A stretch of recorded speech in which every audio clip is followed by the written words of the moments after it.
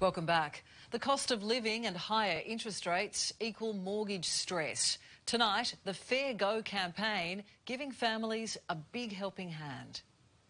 Bank statements, they come on a monthly basis. Insurance, credit cards, rates, water bills, electricity.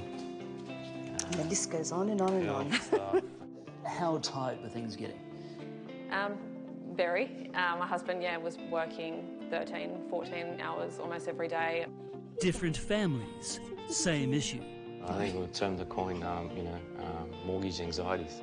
Like so many mortgage payers, Andrew and Phyllis dread opening those monthly bank letters. Uh, there's anxiety around it, you know. Uh, It's like, here we go again. It's like you plan again. And, you know, you start looking at your budget where we can, you know, can do some more savings. Budgets are the new black for many watching their mortgage payments heading north, like new mum Joanne. Where have you had to cut back?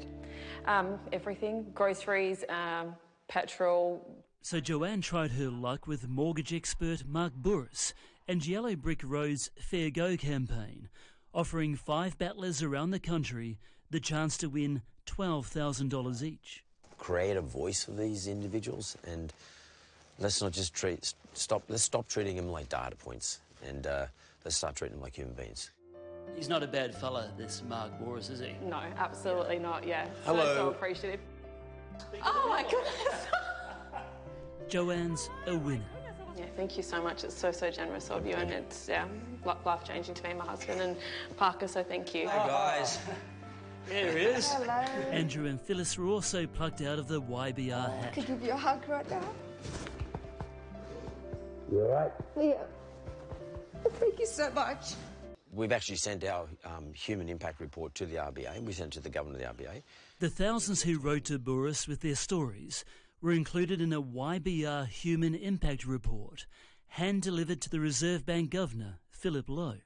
and we've said to him there is an impact on people and I don't think he ever gets to do this sort of thing like I'm doing today whereby he can come out and see how people are actually doing how they they're, how they're hurting and probably more importantly how much relief they need to get I think it's fantastic. They need to know that there's people around like me and a lot of other couples um, that are struggling due to the interest rate rises.